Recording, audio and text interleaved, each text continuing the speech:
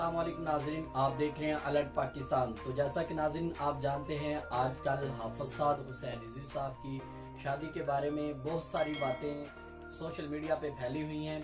तो आइए नाजरीन, आपको अहम तरीन अपडेट से आगाह करते हैं कि हाफज साद हुसैन रिजवी साहब की कब शादी होगी और किस और किस मंथ में होगी, ये सारी डिटेल आपको बताते हैं।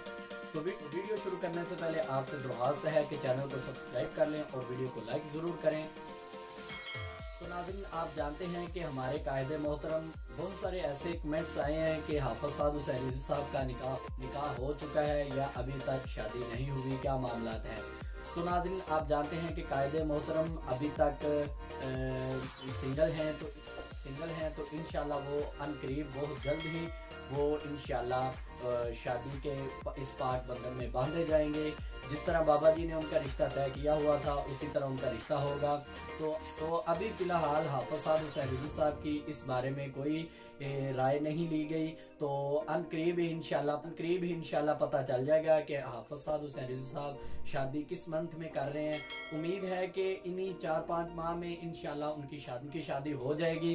तो जिस तरह कोई अपडेट मिलेगी हमें तो इनशाला हम आपको आगाह करते चलेंगे। जो बहनें और जो भाई ये पूछ रहे हैं कि असाद हुसैन साहब का निकाह हुआ है या नहीं, अभी तक कायद मोहतरम का निकाह नहीं हुआ।